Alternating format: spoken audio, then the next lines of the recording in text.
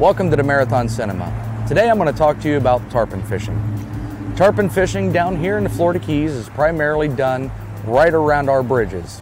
Tarpon fishing down here using live baits is a spectacular time.